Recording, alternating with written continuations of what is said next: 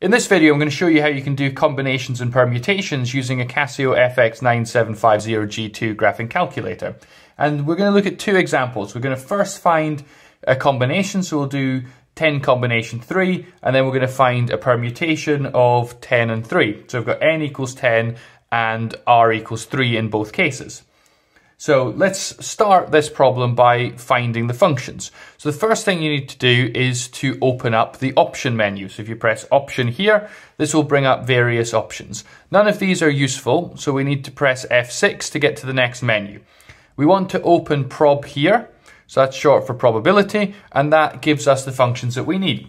So let's start by finding the combination. So we've got to find 10 combination 3, and we'd enter that as 10, as our n, then you have c, and then you put a number after that for your r, which in this case is 3. So we start by putting 10, which is our value for n. Then we have combination, so or 10 choose, and then we've got r is 3, and we can evaluate that, and it gives you the answer.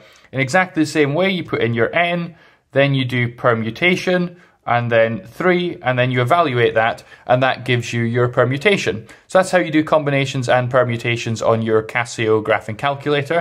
If this was helpful to you, please like and subscribe below, and finally, thank you very much for watching.